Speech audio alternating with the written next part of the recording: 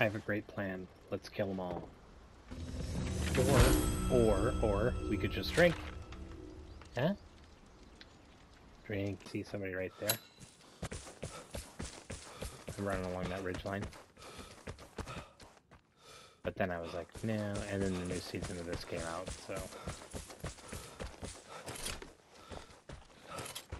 Which was a clusterfuck. We should have just played DayZ and crashed all our cars because Wednesday was a nightmare. Ugh, it was just. Well, I mean, I was kind of salty and ragey. Oh my god! Jesus Christ, there's literally two guys in this bush where I stopped. Fuck, they're bad. There's two, there's another one there. They're really bad. He's drinking some wine. Oh my god, that's me.